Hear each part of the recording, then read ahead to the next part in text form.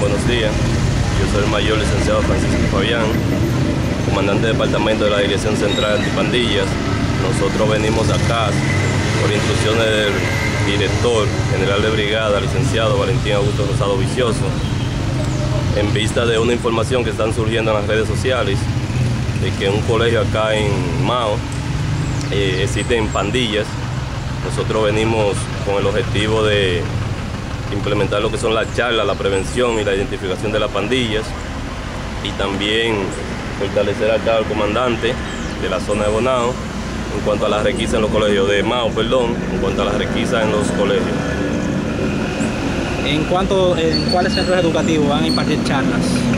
Bueno, vamos a coordinar con la que es la encargada del distrito escolar para hacerlo en todos los centros educativos de acá, de, de Mao.